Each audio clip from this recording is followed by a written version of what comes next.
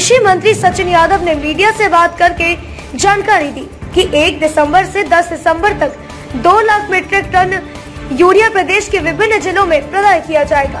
किसानों को चिंता करने की आवश्यकता नहीं है।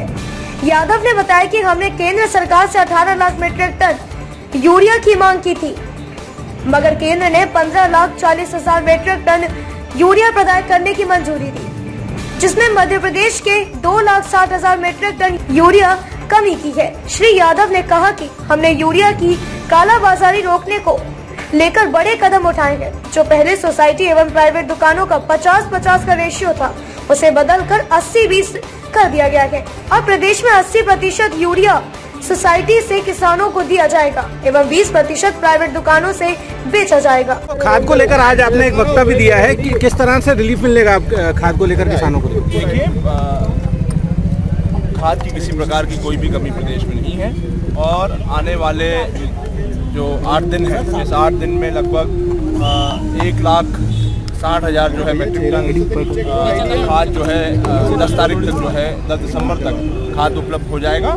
और पर्याप्त तैयारियाँ जो है, हमने पिछले विगत दो तीन महीनों से लगातार हम जो है क्योंकि हमें इस बात का आभास था कि इस बार अतिवर्षा के कारण जो रबी का रकबा है वो रकबा बनने वाला है और इसीलिए हमने अ, सारी तैयारियाँ जो है हमने करी है। बावजूद इसके की जो डिमांड हमने केंद्र सरकार से करी थी हम लगभग 18 लाख मीट्रिक टन यूरिया की मांग हमने केंद्र सरकार से करी थी लेकिन उसके एवज में मात्र 15 लाख चालीस हज़ार मेट्रिक टन जो है आवंटन हमको मिला है, लेकिन इन सारी परिस्थितियों के बावजूद भी जो है आने वाले हमारा जो सीज़न है, उसमें हम किस प्रकार की कमी हम लोग आने वाले, आने नहीं देने वाले हैं। और दिसंबर में लगभग चार लाख पैंतीस हज़ार जो मेट्रिक टन यूरिया है, जो कि पिछले वर्ष लगभग एक लाख चौदह हज़ार के लगभग उसकी खपत थी, और तो उसको इतनी बड़ी मात्रा में हम लोग करने जा रहे हैं। और किसानों की मांग के अनुसार जो है, जो यूरिया का व्यवसाय जो सरकारी क्षेत्र में और निजी क्षेत्र के माध्यम से होता था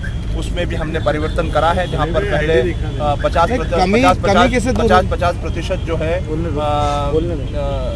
अनुपात था उस अनुपात को हमने किसानों की मांग के मांग को ध्यान में रखते हुए हमने उसको 80 प्रतिशत जो है सरकारी क्षेत्र के माध्यम से किया जाएगा और मात्र 20 प्रतिशत जो है निजी क्षेत्र के माध्यम से। भाई पड़ोस में देवा, देवास के खाद्य गाँव में थाने से लोग बड़े भारी भारी मात्रा में लोग थाने से खाद लेना पड़ रही है। देवास थाने के से- खाते गाँव में पुलिस स्टेशन से जो है मतलब पुलिस सुरक्षा में खाली सुरक्षा में एक अफवाह है ये किस तरह से किसानों से आप ये सिर्फ़ एक भ्रामक जो है भारतीय जनता पार्टी जो है फ़ोटो है फ़ोटो अवेलेबल है। भारतीय जनता पार्टी सिर्फ़ जो है भ्रम फैलाने का काम कर रही है।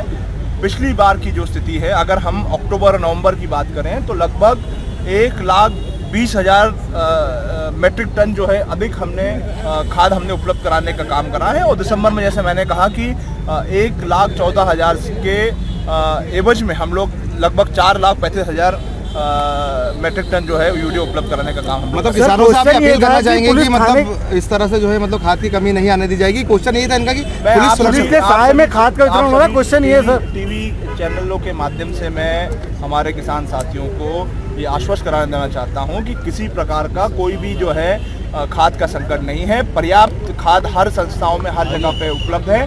किसी प्रकार की कोई भी कमी जो है आ, कहीं भी आपको देखने को नहीं थैंक यू